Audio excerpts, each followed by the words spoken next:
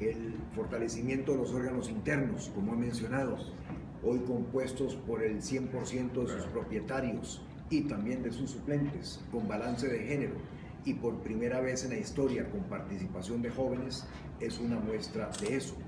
El haber conformado un nuevo código de ética que está colgado en la página web del partido desde principios de este mes para recoger observaciones de las y los liberacionistas y para que luego pueda ser aprobado por la Asamblea Nacional es otra muestra en ese sentido.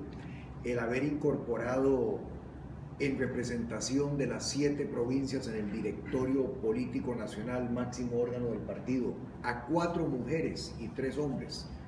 Por primera vez en la historia, esa participación por las mujeres es otra muestra en esa dirección. Y el tener entre los siete miembros provinciales y cuatro nacionales a tres jóvenes por primera vez en la historia va en la misma línea de renovar el partido hacia el futuro.